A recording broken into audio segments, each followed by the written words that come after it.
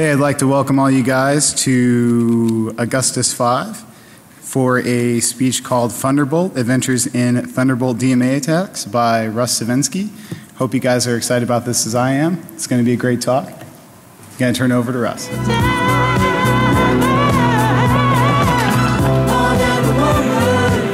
Thank you. Thank you. Hi, again, my name is Russ Sevinsky. I'm a security researcher with ISEC Partners. I'm also a father, a husband, and a musician.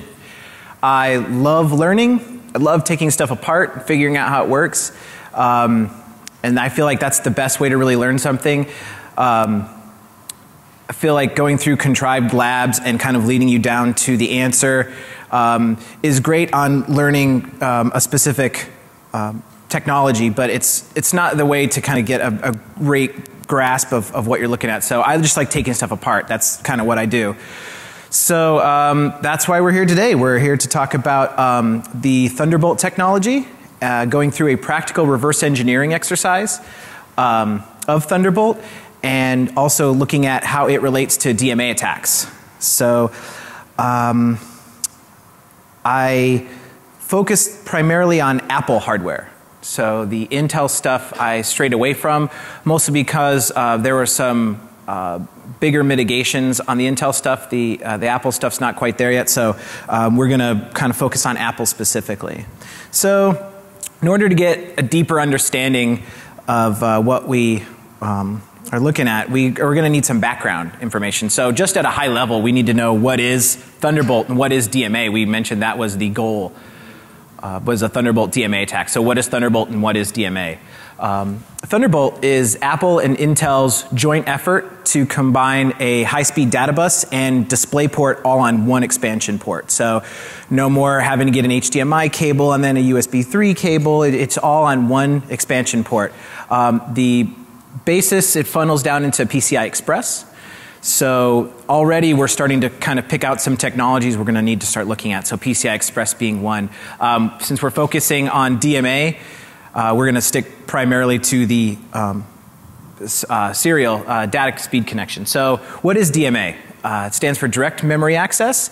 And back in the day, um, when a device needed to access memory, uh, it did something what's called programmed I.O. And so what happened was the a device would contact the processor. Processor um, would take the address that it wanted. It would store it in a register. Then it would go fetch that memory, come back, and so the, the processor was the bottleneck. The, the processor, or not the bottleneck, the the middleman.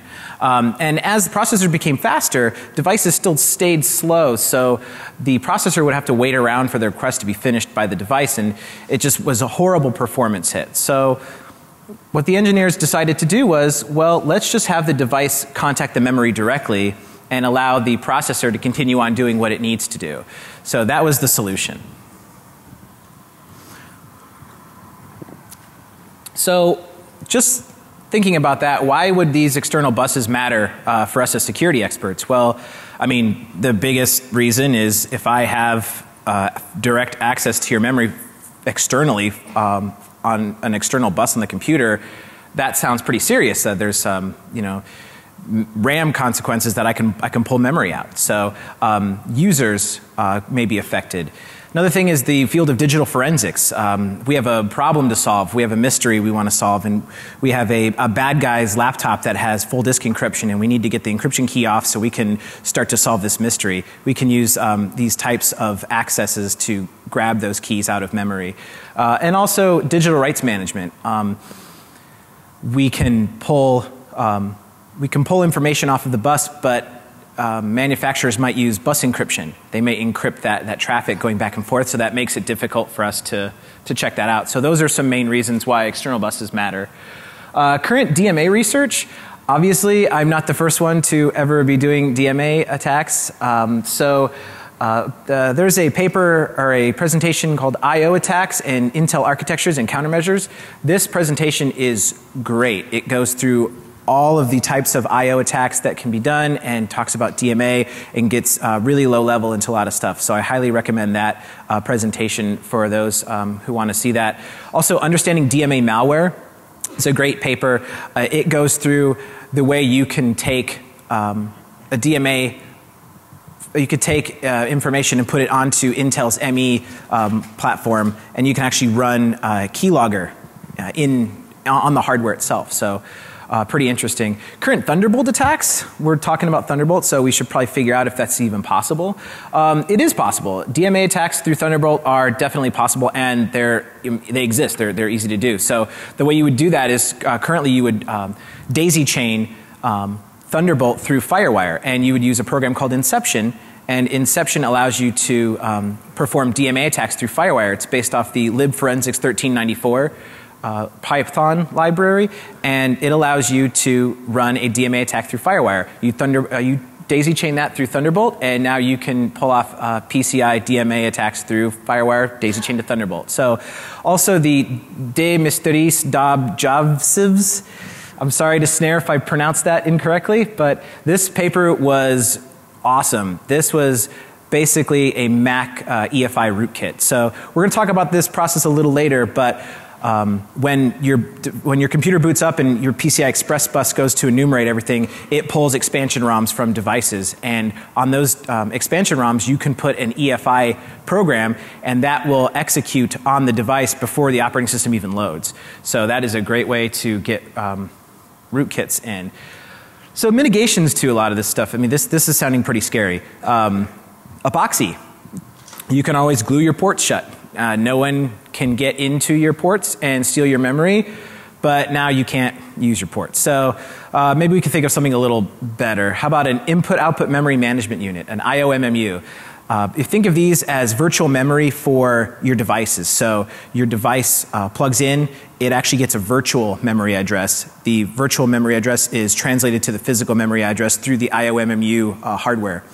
And also this, so this not only gives you an abstraction layer between your memory uh, with virtual memory, but it also allows you to set up um, almost like access controls for uh, sections of memory and for devices. So you can lock these down um, from accessing certain types of memories. Um, also secure configurations. You, um, Apple has some configurations that you can do to prevent the FireWire attacks um, while the computer is locked. Uh, the problem with that is the computer, if the person's logged in, then the attack is still available. So this still doesn't stop social engineering attacks from, hey, this, my device isn't quite working on my laptop. Can I just try it on yours real quick, see if, if I can get that squared away? Um, so these, these attacks definitely exist. And so it turns out that there is a way for us to bypass memory and continue on with our research. So DMA stuff is um, definitely prevalent in Thunderbolt. Uh, so in order for us to get through reverse engineering, we're going to need to get down to some of the underlying protocols we were talking about. PCI Express being the main one. Uh, we mentioned that PCI Express um, is kind of the underlying bus structure that funnels down from Thunderbolt. So um, we're going to need to understand that a little better. So this is going to be a crash course in PCI Express. Um, this uh, specification is a beast, so uh, I'll try and go as quick as I can and get through this. Um, uh, if, if we run out of time and there's no time for questions, uh, come and see me afterwards and we can go through it a little more. Uh, so PCI Express, it's a high-speed data bus. Um, uh, it's, it's, serial, so no longer using parallel anymore. Uh, data uh, sent via lanes, and so a lane is made up of um, two simplex lines, two simplex data, data paths, one um, transmit, one receive, and then each of those is made up of uh, two differential pairs. A differential pair is uh, one signal going uh, positive and then another signal the exact opposite going negative. And what happens is when the two signals get to the device, they compare the difference. And this is really great for interference. If interference happens on the, the lines, um, it should affect both lines. And so you can just take the difference and pull that out. Um, and obviously we have the transmit and receive pairs. So those four lines will make up a single lane or uh, by one PCI Express. Um, per the PCI SIG specification, you, the minimum amount of wires needed for PCI Express is four. Uh, single lane PCI Express only needs four wires. I thought that was really interesting. Um, a reference clock uh, is optional, it's not required, and you can get away with a 2.5 gigahertz oscillator um, with, with plus or minus 300 ppm. So, um, when we're doing our reverse engineering, most manufacturers will do six wire. just because it's easier to throw in um, a reference clock and it makes it a little more stable. Uh, but PCI Express can definitely handle without one. Um, different device types. We have endpoints, switches and hubs, or I'm sorry, switches and bridges, and uh, the root complex. So endpoints um, are basically your devices. You have a legacy device and our legacy endpoint and a native endpoint. Native endpoints are what's coming out nowadays, 64-bit um, uh, addressing. There's a little bit of um, permissions that are kind of locked down to which memory locations you can and can't do. Uh, legacy devices, on the other hand, allow you to actually do um, I/O reads and writes um, as well as memory reads and writes. You can also do what are called locked transactions, which means um, you can lock the bus while you're using it and no other devices can use the bus. Um, back to the PCI days, that was important for um, bus arbitration. Um, more per, um, and so moving on, the data is sent over packets, uh, similar, to, it's analogous to TCP IP. they are called transaction layer packets or TLPs. Um, it also uses a point-to-point uh, topology, so there's no more bus arbitration like we talked about earlier in the PCI days. Uh, you'd have to set a line high to um, request access, and another line would go high when you get you were granted permission from the arbitrator. This isn't the case. You can just use the bus whenever you need to use the bus. Uh, native devices aren't allowed to lock it, so other devices can use it. Legacy devices can lock the bus. Um, and packets are routed by address. This is sounding a lot like uh, TCP/IP, but this is memory address. And so what will happen is devices will travel through the PCI Express fabric, and uh, based on their address, um, it will get routed to the correct device. Peer-to-peer um, communication is also possible because of this. We give an address of the device that we want to talk to. It'll travel through and get to it. Uh, any memory addresses that are RAM-based are going through the root complex. So the root complex it is a logical grouping of, um, the, of circuitry that will connect uh, the PCI Express bus to the CPU and memory. Uh, I say logical because there's multiple ways to implement this. You can implement this um, on your North Bridge directly. You can implement this as a separate chipset. You can implement this as, as multiple chipsets. Uh, it all depends uh, on the manufacturer what they want to do. So in this image, you can see the root complex being in the center. Um, also notice the switch that has a bunch of uh, devices hooked up to it. So in that example, if a, uh, the device on the left wanted to contact the device on the right, it would send out a TLP with the address of that device. It would get to the switch and the switch would say, oh, I have that over on this port. I'm going to send it out here. It doesn't even need to traverse up to the root complex. Um, also with bridges, legacy devices can send um, old school packets through. They'll get uh, translated into the correct uh, protocol and sent through. Um, so we talked about this a little bit earlier with the Mac EFI rootkit paper. Um, devices um, are enumerated through an enumeration process for PCI Express. So we start out um, bus zero, device zero, function zero. Bus zero is most always your root complex. So we start at the root complex, we start at the very first device and the very first function, and we say, is there anyone there?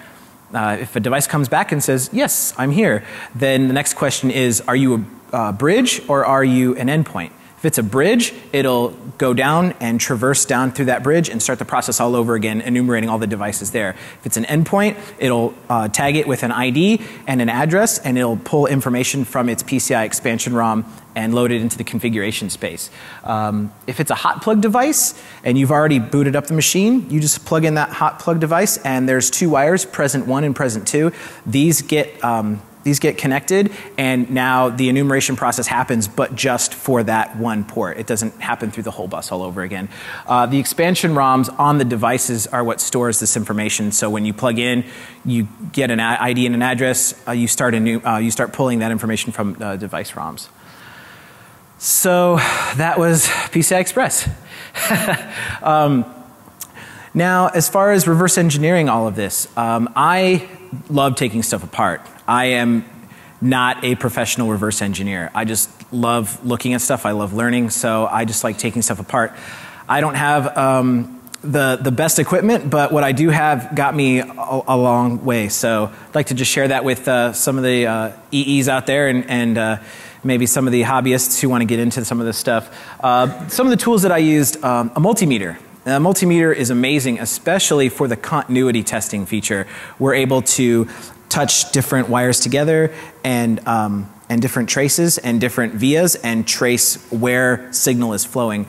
Uh, for those who aren't familiar, a via is a way for, and we'll kind of kind of touch on this in a little bit. A via is a way for um, a PCB layer at top to talk to a PCB layer further down, and vice versa. So if I have a PCB and I have a layer up top and I have a layer on the bottom, um, and a, a, via will allow me to drop down and do that. That makes the um, the board development process really easy for manufacturers because they don't have to try and keep all of their designs constrained to one side. Um, and then you have a list of usual suspects. You got your solder station, heat gun, reflow stuff, desoldering tools for heating up the board, um, desoldering chips, uh, soldering things. Um, those all come in really handy. An Ethernet cable. Ethernet cable, not because we're going to be doing any Ethernet stuff, but if you cut this, one of two things will happen. You can get the um, one of the eight wires. Just take that, and you, um, if it's a solid wire, you can wrap those around your multimeter, and now your multimeter is that much smaller, and you can get into areas uh, that you couldn't with big bulky uh, multimeter uh, leads. Also, the other thing, if the, um, as we'll see a little early or a little later, um, the wires, if they're made up of strands, you can take that strand out and cut it, and you can actually solder into those vias that we talked about earlier and start sniffing some of the traffic on there. Epoxy, epoxy again. Epoxy is quickly becoming my favorite reverse engineering tool uh, for this stuff. Uh, I picked this tip up from a buddy of mine, Mike Werner. Uh, we would take apart USB uh, thumb drives uh, for because the case was too big and it wouldn't fit, and then we would just put epoxy over everything to keep it solid. Epoxy is not conductive, so we don't have to worry about electronics shorting out, and it's a great protector. Um, the other thing it can do is if you have really small leads and you want to get some wires on there, if you're if you're just right and you put enough pressure on there, you can push the wires on there and glue them together. So you can actually glue the wires um, with epoxy directly to the leads and do some sniffing as well. Uh, logic analyzer, this is crucial for figuring out what's going on on the board, what uh, protocols are being used, uh, what buses are, are, sending data when. And an image editor, um, I use GIMP because it's free. And um, but you can use anything. This is great for taking an image of the board, taking an image of the other side of the board, and then comparing in the image editor by flipping and watching where leads go. Uh, so this is a really great way to, um, to reverse engineer. Uh, so let's go through the process. This is the process I took for reverse engineering uh, the Thunderbolt technology. So just pick a product, we'll take it apart, we're going to locate the important ICs on this chip. We're going to um, locate all of the wires that connect to all of them and see how they're interconnected. Then we'll look for data sheets for all of those chips, figure out what those pins are actually set up for and what they're meant to do. And then we'll sniff those buses and develop a map of our Thunderbolt technology and how it all works. So I chose two devices. Uh, the first device was the um, Buffalo Mini Station uh, Thunderbolt USB 3 hard drive. This has a really great form factor for reverse engineering this kind of stuff. It's, it's nice and big. Um, it has really, um, it has really, I'm, I'm going to say big because it's, in, it's big in comparison to the other device I chose, but um, it has a um, big area for vias to solder in and you can see the chips clearly. It's, it's a really great form factor for that kind of stuff. Um, it also has USB 3, which I thought would be a really interesting attack if we can start uh, tweaking some of these chips and pulling information out uh, through TLP packets and writing those uh, to our USB 3 thumb drive. I mean, obviously it's a hard drive, but if we want to put some more um, malicious um, technology in this device and take that hard drive out, um, we could put a USB 3 thumb drive in there and route it. So that, that we are just kind of thinking out loud, that might be a really cool attack scenario. Um, and the Apple Thunderbolt to gigabit Ethernet adapter. This thing was a nightmare to reverse engineer. These things are, are tiny. I mean, and, and with good reason. I mean, you want consumers to have a nice quick adapter they can plug in and go. Um, and they look nice, you know, so that, that's, that, that's why they're super small. But it doesn't make it nice for us as reverse engineers to look at this stuff, so. So we'll start with the hard drive. Um, AnandTech has an amazing teardown of this, high-res images, um, really detailed information on it, and they've also um, picked out all of the ICs for us. So that part of the um, reverse engineering is done. We already know all the chips on there, all the interesting ones anyways. Uh, the main ones on there, the uh, MLDU3, uh, that's the USB to SATA controller. And so just thinking about this as a hard drive, we know we're going to have SATA connecting to our hard drive. We have USB 3 and Thunderbolt as the input. So now looking at the chips, we have a USB 3 to SATA controller. So we start building our two paths, one for USB 3 down to SATA and one to Thunderbolt down to SATA. And this chip kind of solves that mystery. It's USB 3 to controller, controller to SATA. We're done. So that leg is pretty much taken care of with that chip. Also have an ASM 1061. This is the PCI Express to SATA controller. Again, Thunderbolt based on PC, uh, using PCI Express. Uh, you can start building that path out now. It's you know, PCI Express to SATA, and then some other technology up to the Thunderbolt controller, which leads us to our next chip, the DSL 2210. This is the Intel Thunderbolt chip. This also code name is Peak Ridge. Um, it is going to be connected directly to the Thunderbolt controller and just kind of at a high level we can start seeing, okay, so Thunderbolt uh, connector, uh, controller, PCI Express SATA, hard drive. So we're starting to build that path out. So now we have the USB 3 path and the Thunderbolt path. And then we have an LPC 1114. It's a ARM Cortex processor. Um, not really quite sure what this is doing here. AnandTech thinks that it's to switch between USB 3 and SATA, but we've already identified those paths and how they interact. So it, that's basically just um, setting wires high and, and voltages. So we really don't think that that's the solution, but we're not quite sure what that is yet. So we need to keep digging deeper. Here's an image of the front of the board. And as you can see, just uh, at visual inspection, you can start taking a look at some of these. Um, right there are our three, uh, three out of our four main ICs. The one on the upper left is our USB 3 controller. The one in the middle is our Thunderbolt controller, and the one on the right is our PCI Express controller. We also have um, a couple SPI ROMs that um, are on the board. Uh, excuse me. Visual inspection kind of says, okay, the one on the top left is going to be related to the USB 3 controller. The one in the, uh, the top right is going to be related to the PCI Express controller. So we can start picking out um, what ROMs we can start looking at. Also, we have some interesting header rows set up here. So these might be interesting. These may be JTAG uh, headers. They may be, um, I think it'd be really crazy if there was a um, a root shell on a hard drive. Um, probably not the case, but we, we, you never know. So let's uh, we'll keep those in our back pocket and kind of continue on. Flipping the board over, um, you notice we identify uh, the fourth chip, the ARM Cortex. Uh, any ROMs on this? We notice there's one over here. Visual inspection, just looking at this side, we don't see any chips around it. Although if we flip the board around, uh, in this image, you'll see a big grouping of resistors uh, right above that. And that's the uh, that's the bottom end of the Thunderbolt controller. So all those resistors being you know pulled uh, pulled higher, pulled low uh, for power and such. So this may be the ROM for Thunderbolt. We're not quite sure. Uh, visual inspection doesn't show any direct vias to it. Uh, putting the board on its side, we notice this board only has three layers. So that's great for us as reverse engineers. Um, it'd be ideal if it was just two, but most manufacturers may do eight or nine. I mean, it all depends on, on how they're going to uh, design their boards. But this allows us to do most of our, our inspection visually. And if we have anything that's interesting that we can't quite find, a continuity tester will help us to resolve that. And since it's a single board in the middle, we shouldn't have to worry too much about speculation on where it's going. So let's start looking at our PCI Express controller.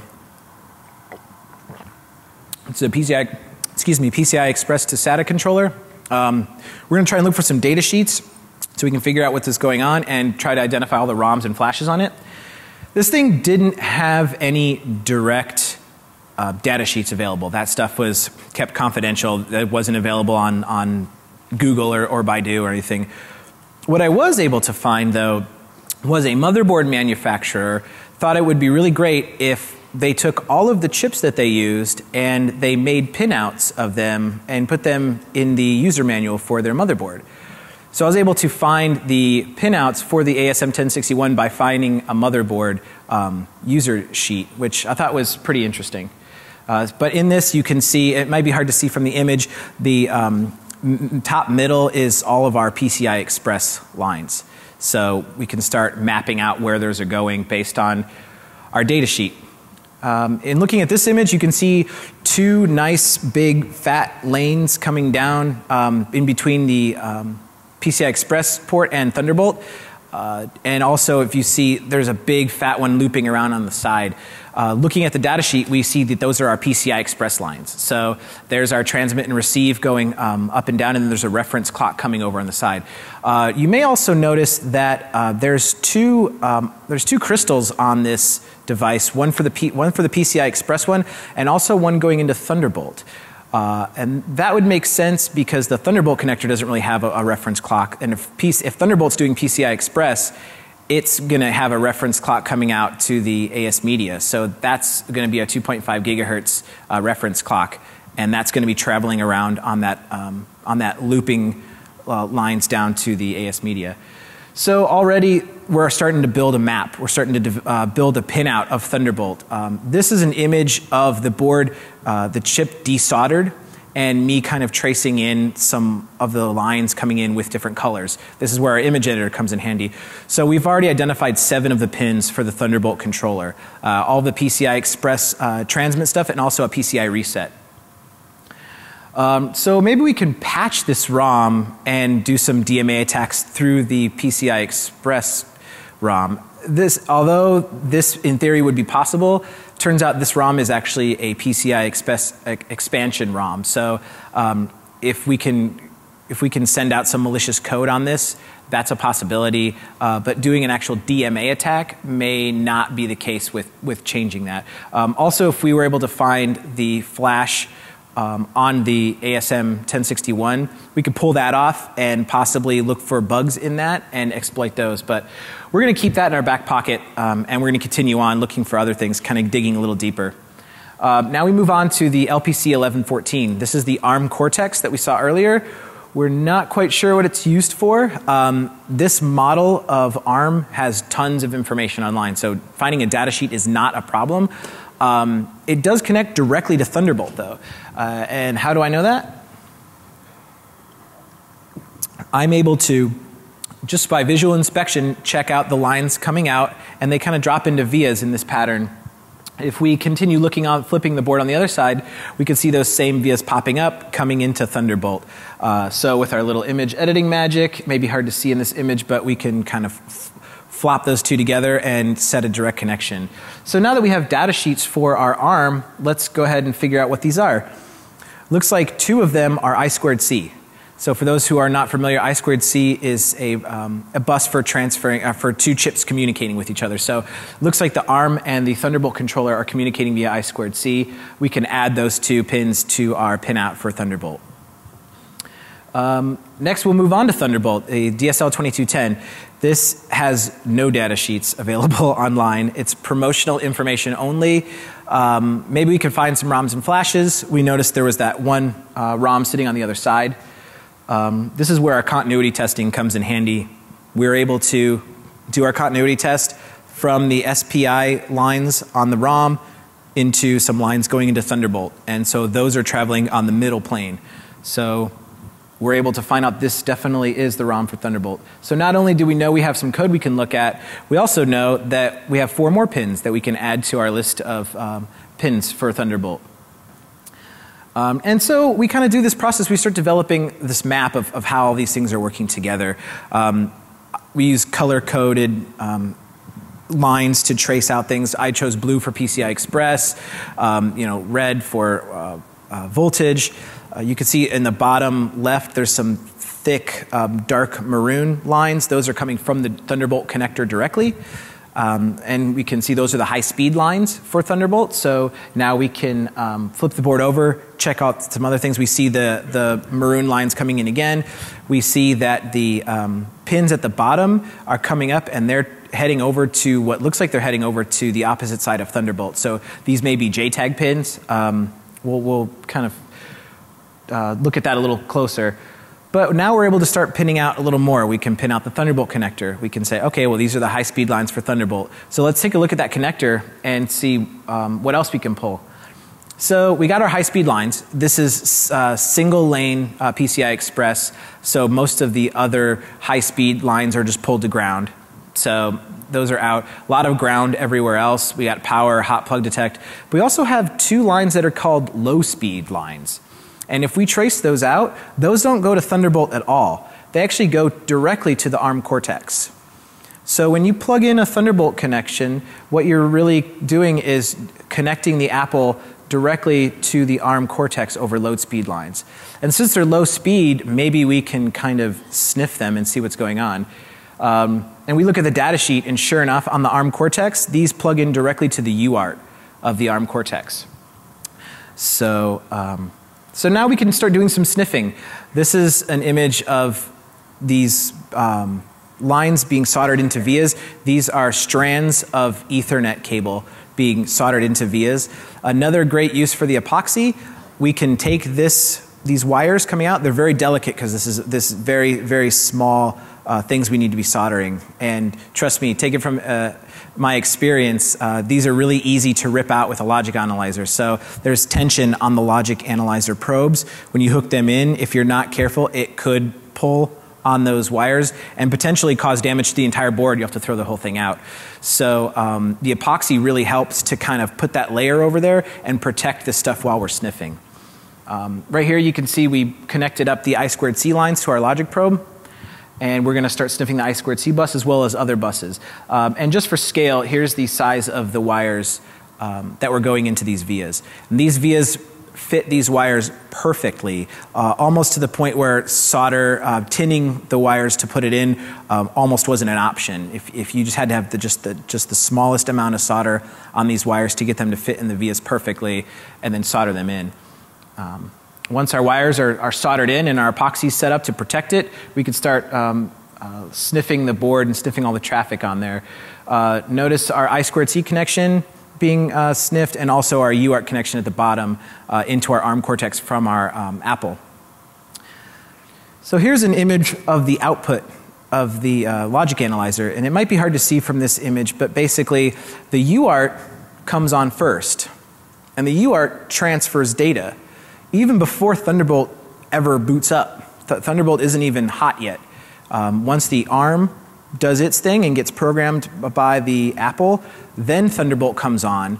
The I squared C buses start communicating between the ARM Cortex and the Thunderbolt controller, and um, device information is now sent up to the computer through the Thunderbolt. So we can kind of build this map up of these, these lower speed protocols on the board without having to worry about sniffing the Thunderbolt you know, connections or the PCI Express connections, which are, unless you have a really expensive equipment, it's very difficult to do. Um, so we're looking at this UART traffic coming from the computer down to the ARM. So I want to know what's going on. We want to know what's, what's going on on the ARM, uh, on the Apple, how the ARM's communicating. It turns out these, um, this ARM is communicating to an ARM on the Apple computer itself. These low speed lines are actually connected directly to two ARMs. Um, so in any Thunderbolt implementation, you need the Thunderbolt controller and you also need an ARM Cortex. The ARM Cortex and the Thunderbolt controller have to be together. This is kind of an interesting uh, correlation that they, they need to be together. Um, so let's grab some Thunderbolt um, firmware updates and maybe we can find some of these uh, strings and some other things uh, in these firmware updates. We notice the string EM space space. Um, maybe we can find that in the Thunderbolt uh, firmware image and see how the Thunder, maybe the Thunderbolt uh, controller talks to the ARM and sets it up. Like, we'll, we'll, let's try and figure that out. So we grab our firmware update, and there's tons of information online from great reverse engineers in this uh, field, but uh, on how to get through, you know, application packages and, and look at Mach-O files and those kinds of things. So I, I used a lot of that. And you can see when we go through our application packets, there's a payload file. Um, taking that and just running a file on it shows us it's a, a gzip compressed file. So we'll just rename it to .tgz and uh, untar it. Uh, when we do that, we get three files. We get an EFI file and we get two bin files. Um, so we have two bin files and the EFI program. So one of these is most likely the ARM uh, image and the other is, is Thunderbolt. So which is which? Let's see if we can um, figure that out. So we take our string and we actually just we look for that em space space and sure enough we find it in our hpm bin file. So now we have a pretty pretty good uh, understanding that this is going to be the the uh, ARM firmware, but maybe we just got lucky. Maybe there were just four sequential uh, characters that happened to make that up. So let's see if we can find another um, sequence of characters. So we have the um, hex 27OA0000. So we'll grab that out and we'll do another search, and sure enough, we have the same exact uh, image coming back to us. So we're pretty confident that this is the image of the ARM Cortex and the other is the Thunderbolt image. So now we can, let's look at our EFI program a little bit. Um, so for those of you not familiar with EFI, um, the format is based on a PE format. It's called TE. And the way OS 10 does it is they, they take an x86 uh, and a, 64-bit uh, version of the TE file, and they kind of wrap them in a Mac, uh, Mako file. So just using a hex editor and kind of doing some DDing, we're able to pull out the x86 TE file from the Mako file, and we can just load it up into like IDA or whatever. Um, I choose Hopper. Hopper is, right, for those uh, Hopper uh, fans and possibly the developer of Hopper, kudos to you because uh, this is amazing. Um, Hopper is um, it's basically uh, similar to IDA, except for one tenth the price, and has a lot of cool features. Uh, a couple of which we're going to kind of cruise through here. Uh, just looking at just the, the, strings in the EFI program shows us a lot. We're able to see a lot of debug information, um, and tracing that out, we can see uh, a lot of uh, functions being call uh, being shown with uh, uh, colon, so init JTAG colon and then some issue, or you know read you know read EPROM colon. So these this debug information is kind of helping us to figure out what blocks of code are doing what. Also, we noticed there's a uh, found light ridge and found eagle ridge, and with a, um, a four, uh, uh eight, uh, eight byte, um, I'm sorry, four byte um, um hex number next to it. Uh, that is pretty interesting. I haven't seen anything related to that in any of the Apple stuff. Um, if let's do a little digging around, we have basically two different um, two different uh, descriptors for that. If we do a little googling, we find only one file, and that file is the um, IO uh, PCI bridge.cpp in GitHub. Basically, this lists out if these four identifiers are not the case, then go ahead and do some stuff. So now we are able to say with pretty high confidence, since two out of the four are listed in our EFI program, we could say this is probably the list of device uh, IDs for all of the Thunderbolt family. So taking that, we notice that we look at our um, logic analyzer output, and sure enough, in, uh, in Little Endian, we see the um, 86, 80, 49, 15, or 15, 49, 80, 86. This is traffic coming from our device up. So the peak ridge that we're looking at is actually the device ID of uh, 15, 49, 80, 86. Um, so let's kind of pull this a little further. We can take these strings, we can cross reference that back up to code, uh, and then we can start tagging some of this code. So init JTAG is going to be this block, so let's go ahead and name it init JTAG. We can kind of do this with all of the debug strings and start building a map. One of the coolest things about Hopper is the pseudocode option, and what you do is you we are within a function, you hit pseudocode, and it compiles it out or decompiles it to a C um, code. So we're able to pull out um, some code for the init JTAG thing. It, it's, it's a little messy, but I mean, it, it does a really good job of pulling this out. And since we are able to kind of put these symbols in from debug strings and clean up the code a little bit, this is the code for initializing the JTAG chain for Thunderbolt. Um, we can see um, how it goes through. I, it does its uh, JTAG initialization, connects up, and then pulls this string out. If it's, if it's one of these two strings, it's these types of um, Thunderbolt controllers. If not, it's an unknown one that it doesn't know about. So it only really supports two on the um, Apple computer. And that's um, another good point to note. This is all on the Apple. Uh, these EFI programs running on the Apple. We've kind of switched gears from the device over to the Apple because we want to watch that communication.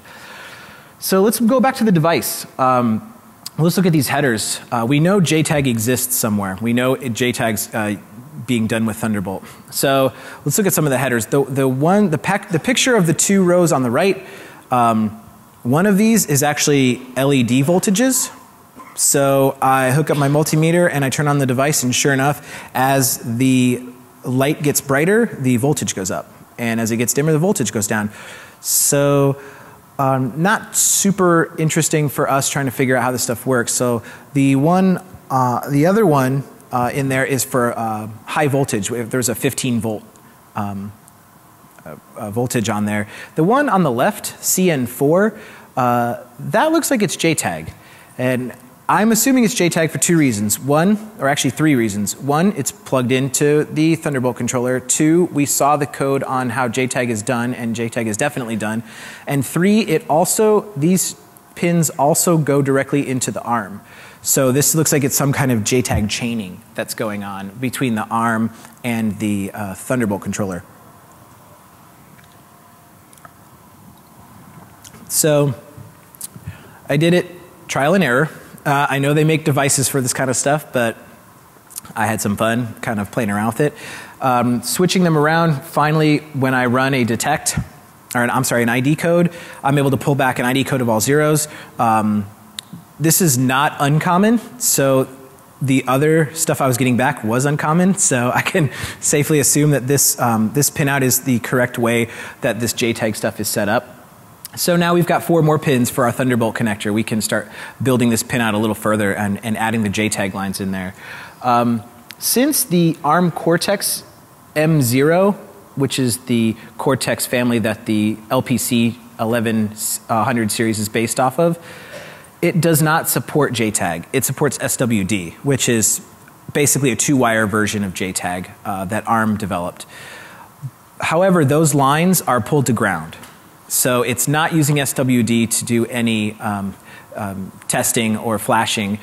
It looks like all of these pins that are hooked up are going to port 3. Um, and a port on a chip is basically a collection of pins that usually serve one purpose. So they're all going to port 3, which leads me to believe that port 3 has been reconfigured to do a custom JTAG implementation on the ARM. Um, it's also obfuscated with a um, start sequence or what's called a, a knock knock protocol. So um, just doing your simple JTAG connection kind of, you know, it, it defeats this.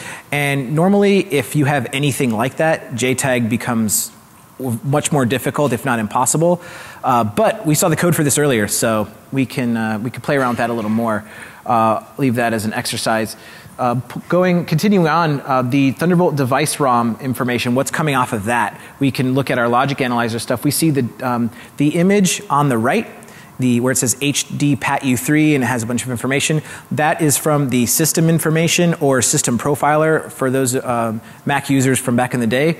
Uh, that comes from the system profiler section of the Thunderbolt bus. So this is the hard drive plugged in and we can see that the vendor name and device name come into here from there, from the Thunderbolt ROM.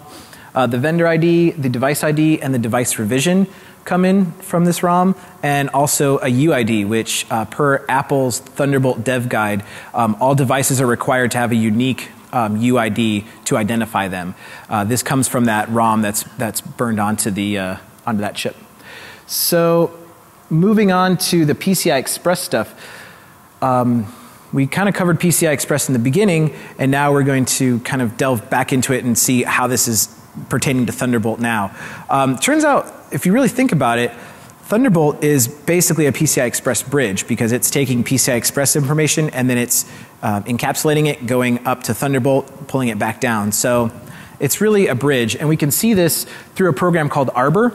Arbor is a pay program for Windows only, but it allows you to see your PCI Express bus and get a lot of detailed information on your PCI Express bus to the point where you can actually pick out um, problems with your PCI Express bus and implementations of PCI Express devices.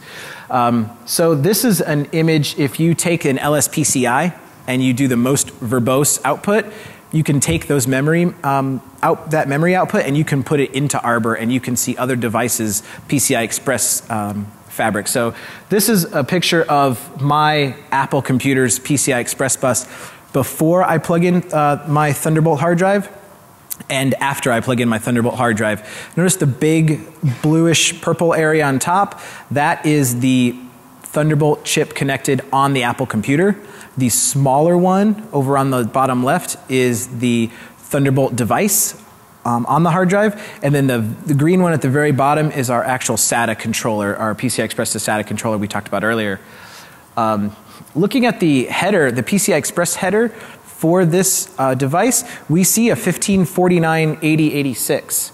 So those, those um, those bytes we were seeing earlier, those are directly related to the PCI Express implementation. So 1549 is the device ID and 8086 makes sense is made by Intel is the vendor ID. So those um, chips earlier are those um, bits that went across the wire. Those are PCI Express um, identifiers.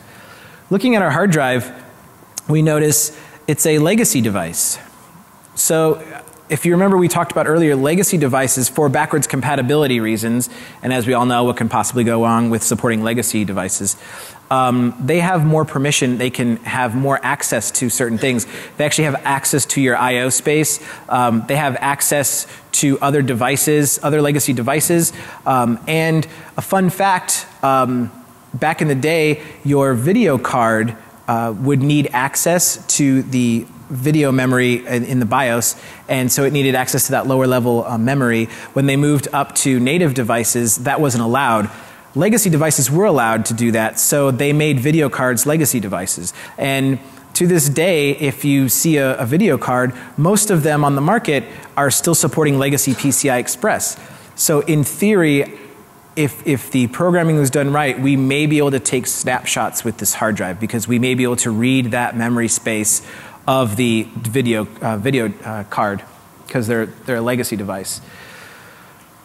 So that was a pretty in-depth look at the hard drive. We've got a lot of information out. We got some great ways to pull some flashes uh, and ROMs. We got some great ways to see what's going on. We know that the ARM Cortex is kind of orchestrating the whole thing for Thunderbolt, and the Cortex is required. So maybe we can, and we have a pinout, we're a pretty detailed pinout of our DSL2210 chip. So we're able to take that and look at other DSL2210 chips. So let's look at our gigabit Ethernet adapter. Uh, we're going to kind of go through the same thing. We're going to take it apart and figure out um, all of the traces and, and try to sniff that. This thing is tiny, so it's not going to be nearly as fun as the hard drive was. We're, we're going to start on the left hand side and move over to the right hand side to see what's on both sides. Looking at the connection, we notice there's an ARM Cortex there. It's an LPC 1112. So this is part of the LPC 1100 family, but it's a smaller model, obviously. Um, we have the data sheet for this. It's the same data sheet as the one we were looking at for the other one. Um, so that's a win for us. Also, we notice this goo over here. Uh, this looks uh, what appears to be uh, conformal coding. And what conformal coding is, it's a way, it does serves two purposes. The first purpose is it um, locks down the board and prevents interference. So with these high speed uh, transmissions and this small space we're working with, that's essential to not have any interference. The other thing it does is it makes it a huge pain to reverse engineer because this stuff is basically like a rock when you're trying to look at it. It also obfuscates a lot of the um, lines that are traveling on the board. If you look closely at the image, you can see if you get the light just right, you can start seeing some of the traces connecting to other uh, components on the board. You could see some resistors, you could start making out some paths. This would be a lot easier if it was just a, a plain green board. Um, that conformal coding kind of obfuscates that a little bit.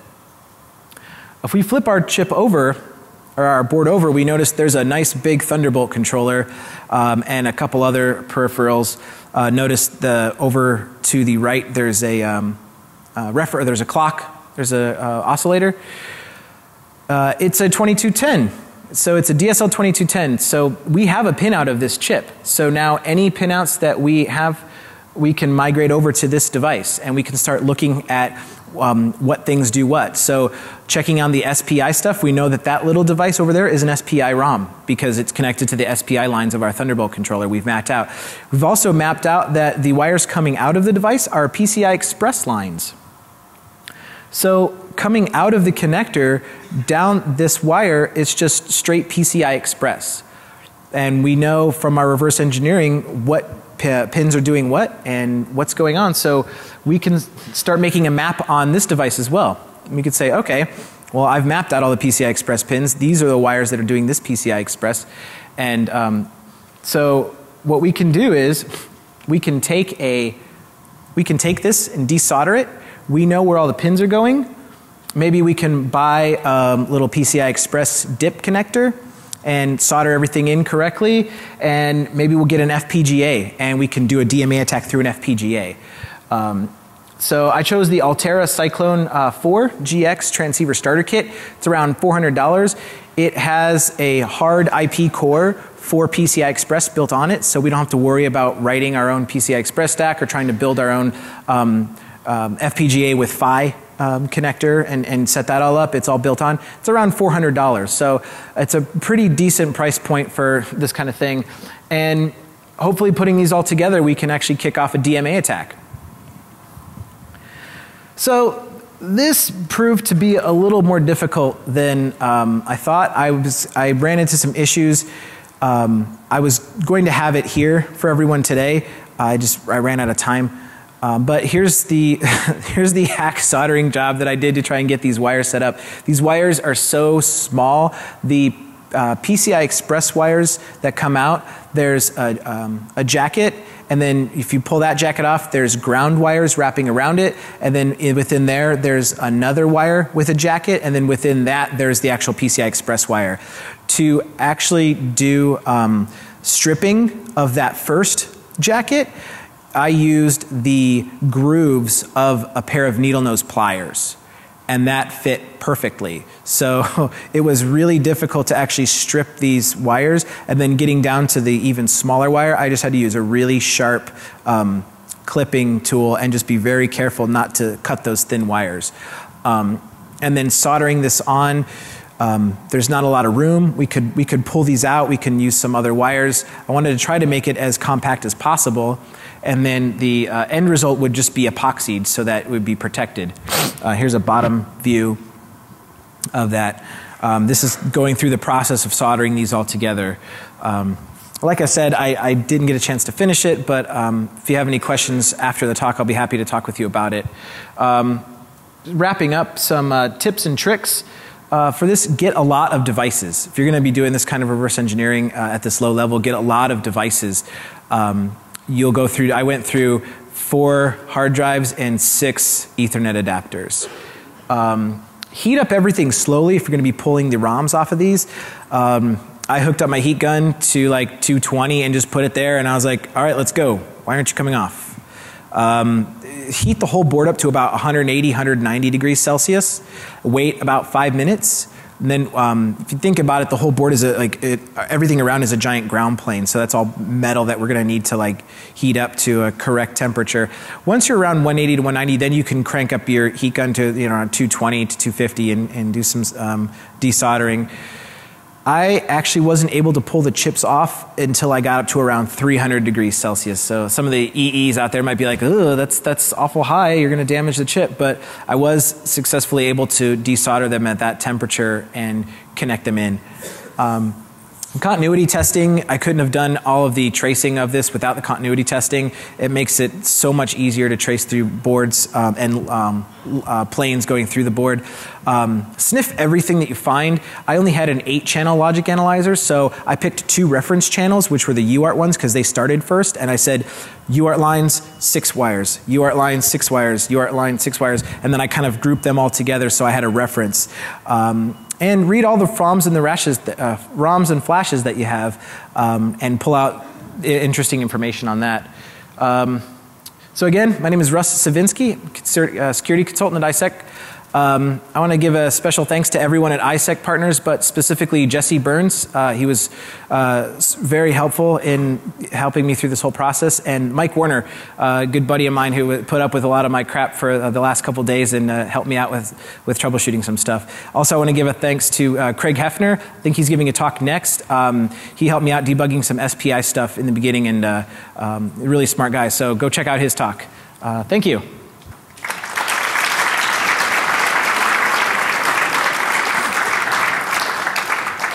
Do we, uh, we, have, we have five minutes, so um, we have some time for questions. Yes?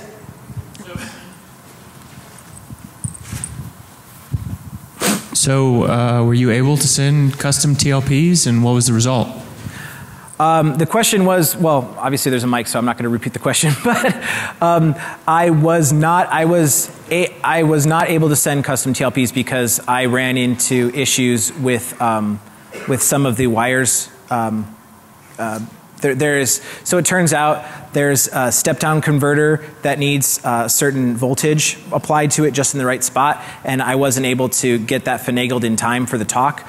Um, I had the um, the Altera PCI Express stuff all set up and ready to go to run the attack. Um, it ran in a simulator, but I wasn't able to get the device actually finished in time for the talk. So I guess the answer is no.